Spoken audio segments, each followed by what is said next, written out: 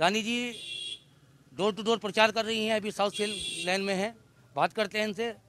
क्या कहेंगे मैडम, चुनाव किस तरह से हो रहा है देखिए, सबसे पहले तो मैं धन्यवाद करना चाहती हूँ अपने शीर्ष नेतृत्व का कि उन्होंने मुझे इस लायक समझा कि मैं एक प्रत्याशी के रूप में लोगों के बीच में आ सकूँ, विधानसभा प्रत्याशी के रूप में। और देखना क्या है, सब चुनाव है चुनाव चुनाव की तरह लड़ा जाता है। देखिए, हम समाज सेवा करते हैं और वही करते आ रहे हैं, विकास का हमारा मुद्दा है। हमने बहुत विकास कराए हैं। बीस साल से कुंवर प्रणव सिंह चैंपियन जी यहाँ विधायक हैं रहे हैं। अब इस बार मुझे मौका मिला है।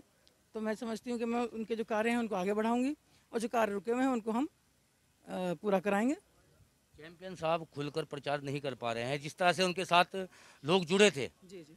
वो क्षेत्र में इस बार नहीं दिख पा रहे हैं। क्या कहेंगे? क्या वजह है? स्वास्थ्य स्वास्थ्य खराब है। चैंपियन साहब का स्वास्थ्य खराब चल रहा है।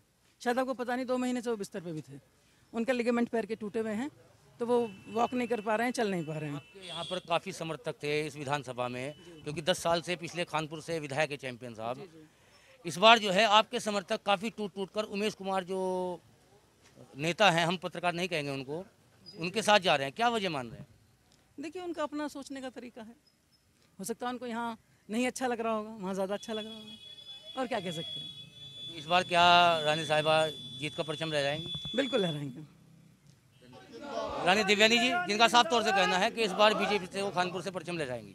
अपने सहयोगी विनोद चौधरी के साथ, मैं Mohammad Azim, news one India, Haridwar, Khanpur.